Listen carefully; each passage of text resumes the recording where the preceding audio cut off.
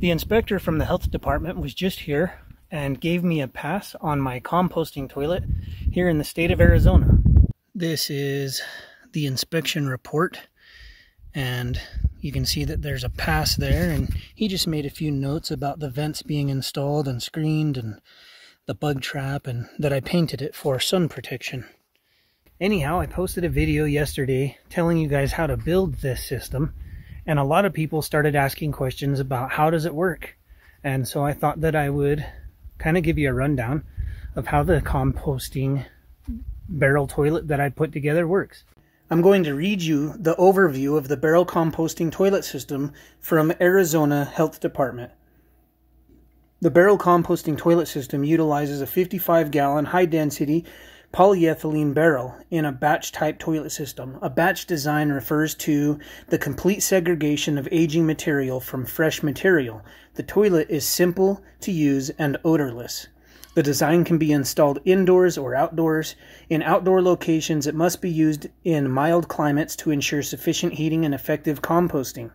Outdoor installations are suitable for locations with an average temperature of 50 Fahrenheit or higher during the four coldest months of the year. In colder climates, the system can either have additional barrels to allow the aging barrels to compost fully during warmer months or be located indoors, preferably in a heated space where it is protected from temperature extremes. A toilet seat and ventilation assembly is placed on top of an empty barrel. This barrel is known as the active barrel. When the active barrel is full, it becomes an aging barrel. At this time, the seat and ventilation assembly is moved to an adjacent empty barrel, which now becomes the active barrel. The aging barrel contents continue to compost for a minimum of four months before being emptied. The total number of barrels required for the system is based on the number of people using the toilet. One person living full time on their land needs to have two barrels. Two adults living full time on their land needs three barrels. Children under 10 years of age are considered 0.5 persons. After each use, it's recommended that you moisten the toilet paper with water from a squirt bottle located beside the toilet. This helps with the next step. Be sure to moisten only the toilet paper, not the surrounding compost. Cover the deposit and toilet paper with sufficient carbon based cover material, such as wood shavings. If you decide to build a urine diverter into your composter, it should be rinsed with about a quarter to a half a cup of water using the squirt bottle as well. Close the lid after each use to prevent entry into the compost chamber by insects. This is how composting takes place in the aging and inactive barrels. The contents of the aging barrel will now compost for a minimum of four months with no additional material being added. The aging barrels are aerated once every two weeks using a compost crank. The barrel containing the oldest material shall be aerated first, then the next oldest, and finally the active barrel. This ensures that pathogenic material will not be transferred from fresher to older material. With that explanation from the state of Arizona, I'm also just going to give you guys a quick run over of what's going on over here with the toilet barrel composting system. Obviously, I just simply have two 55 gallon plastic barrels here. I dug down into the ground to make sure that these were not more than 16 inches above ground and not less than 12 inches above ground. That's important to pass your inspection. You also have to have a gasket between the lid that you create and the bucket and this gasket is attached to the lid so when I move this lid from this active barrel to this barrel, I can lock it down using these bungee cords and I can seal out any insects from being able to get in. You can use a normal toilet lid and then put gaskets between the, the lid that folds down and the seat, or you can use something heavy like this because this seals down and it's heavy enough that insects can't crawl in and get into the bucket. These two inch elbows go into the to the lid and they use uh, hose clamps to hold them in on the inside. I used Gorilla Glue and other PVC to attach mine. And they also use hose clamps to hold the the venting on or the the mesh. Well, I used PVC to pinch mine in, and so you can fill uh, the vent nice and sturdy in there. There's no way for insects to get in through these vents or through this tee, which has an insect uh, collector on the top here. And all this is, is a glass jar. So if for some reason an insect got in while you were using it, the only way out is to fly up through this. There's a little hole in the top and the insect would wind up being caught in this jar and you can empty this jar anytime you need to although I don't think that it'll get full very often. You can probably see the the vent in there and that keeps insects out and there's one in every one of these. Uh, so there's just no way for insects to get in. They use springs but I had bungee cords and so that's how I held this down really nice and solid.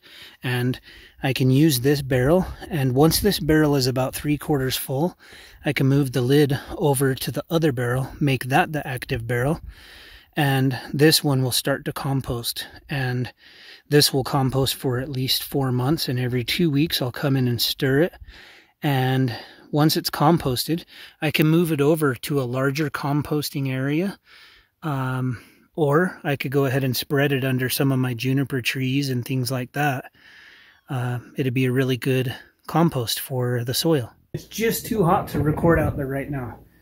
So there's one caveat that the inspector had, and it's about black water. So if you set this system up, you know, if you have a kitchen of any kind, a kitchen sink or whatnot, you still need to have a black water septic system, technically.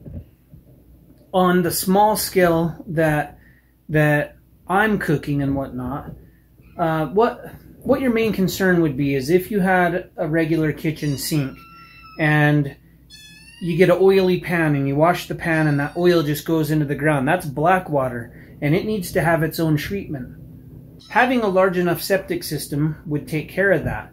In my case, I have kind of a gray water system where I shower, maybe wash laundry with natural soaps that are salt based or goat milk. And that's totally fine. That water just goes out and, and I have kind of a ditch and I'm growing corn and things in there using that water.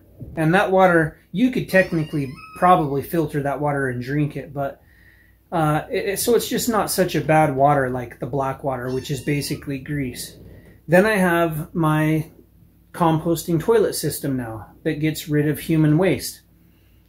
You also need to have some sort of a black water system so that you can treat that greasy water. Well, in my case, I cook in a skillet.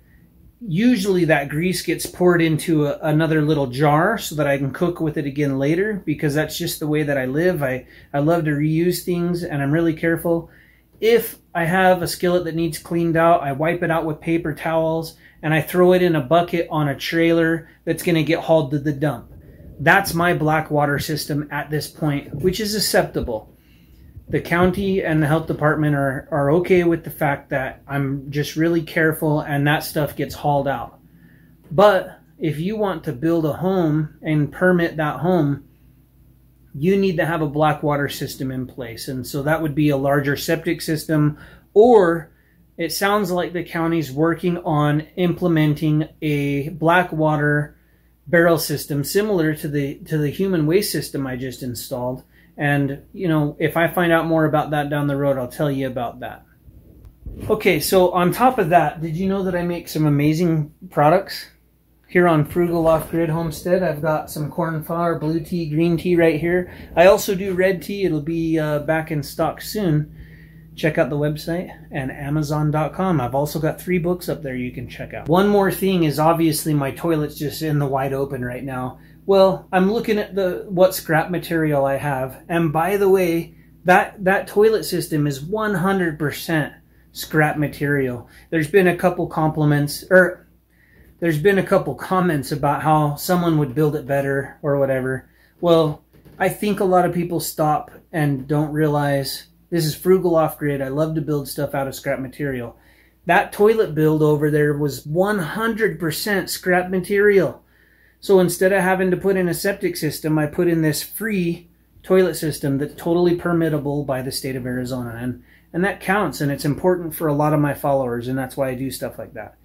But anyhow, I'm looking at my scrap material and I'm going to throw some pieces over there and soon we'll build in at least some kind of a shanty around the the outhouse basically that that will provide privacy and there will be a roof to to to keep the rain off of it and the sun off of it and a door that closes. So we'll see what I come up with, but that that is something that'll be coming soon. If you guys still have questions, leave the comments below. Ask questions about the toilet, the composting system. That's totally cool.